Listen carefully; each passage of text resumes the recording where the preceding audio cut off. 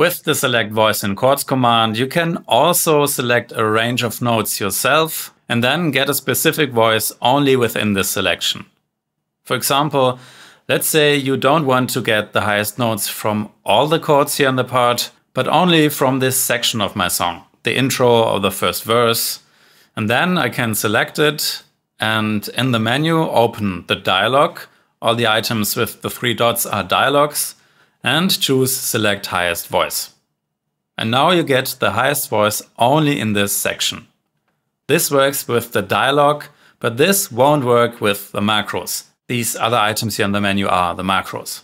Because the macros deselect everything first.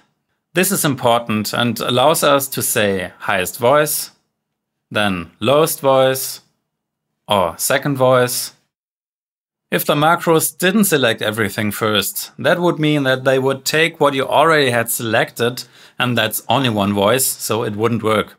So what the macros in the menu do is deselect everything first, and then select the specific voice. So as a recap, the macros in the menu will always use all the chords in the part. You can't just have a specific section.